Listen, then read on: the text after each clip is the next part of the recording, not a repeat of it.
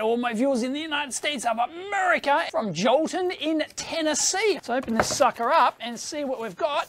Oh yes, it's from Unmanaged 615, who, uh, who is a huge contributor to the AMP Hour. If you don't know the AMP Hour, I've only been doing a radio show for like 13 years or something, um, theamphour.com with Chris Gammell, of course. Um, and uh, he updates, uh, adds stuff to the uh, Reddit, because there's a Reddit where you can put show suggestions for stuff for us to talk about on the podcast. So, unmanaged 615, thank you very much. And what do we got here? What do we, oh, a, is that a panel meter? It's a panel meter thing. Oh, Simpson. Simpson DC volt panel meter. Wow. Okay, let's do a quick two minute tear down. Maybe we can power it up. Maybe it still works. Wow, I didn't.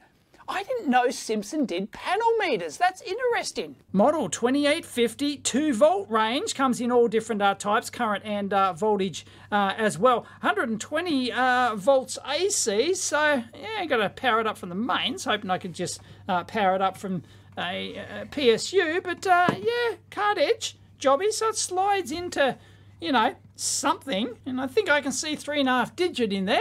see if it still works. And we're talking 1976 vintage. Check that out.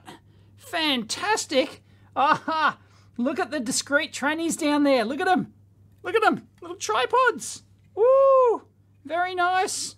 Beautiful. Oh, you don't see construction like that anymore when I was a boy. So we've got mains in here, but check this out. Like I would have thought, oh yeah, here and here, hook up the mains, but that trace goes through there and it's connected onto the gate.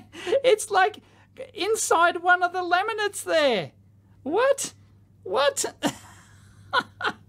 so I assume that's an earth. And then, of course, one goes in here through a fuse over to here. But there's a couple of more mains warrants. So it must be this one and the other one on the other side. And that goes over to here. And there's so this is the primary side. This is the secondary side. And they've got a tap off here, like going to one pin. There's like a shorted. Is that like a shorted turn, or is that some sort of voltage? Oh, that might be voltage selection, perhaps. Let's have a look at the displays on this thing. Can we get a manufacturer and part number there? That looks interesting. Wow. I don't think I've seen one of those before. It's got dual digit and one's at one's a half digit with the plus minus. But wow, that's neat. What is that display? I need a part number on that. Oh, look, we can take it out. Is that like a that's socketed? In fact, I don't know those numbers there, but are they seven segment decoders? No four layer boards back then. They just ribbon cable routed that bus all the way over. There you go. So that's obviously like the seven segment input. So this looks like it could be the decoder perhaps. And then you've got uh, sink transistors for each uh, segment in there, plus the uh, decimal points.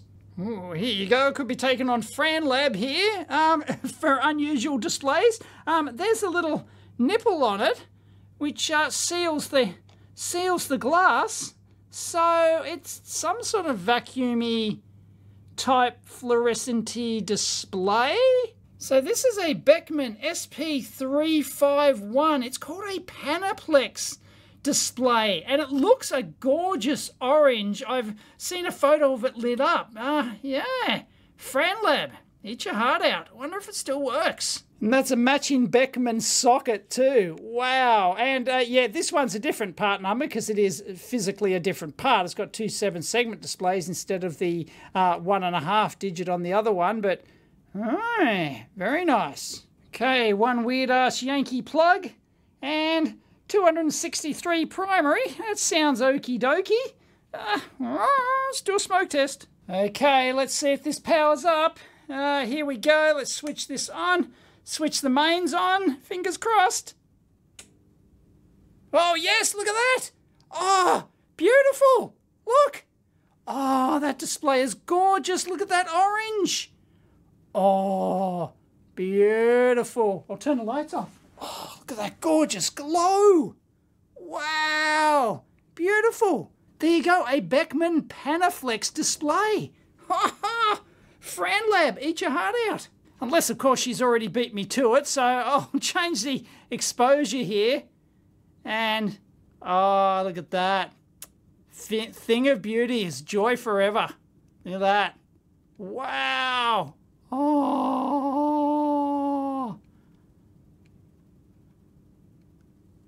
So thank you very much, Unmanaged. That is just gorgeous. A Simpson uh, panel meter with Beckman Panaplex display. Oh, just, oh I hope that oh, man, my camera is color balanced, so I'm hoping that orange will come out. The camcorder screen doesn't look as orange as in real life, but trust me, that's beautiful. Mwah. Apparently, these are called neon planar displays, and I found a UK website which specializes in these displays. So I'll link it in down below, and they've like documented all these things, and they have gorgeous photos, and they've got completed clocks with these things. It looks like they made them in all different shapes and sizes, and uh, these were made by at least uh, three different companies. These, uh, I don't know if Panaplex was like a uh, Beckman trademark or whatever, but um, yeah, it's it's interesting. There is a whole bunch of info out there on these. Anyway, these are gorgeous, are they not?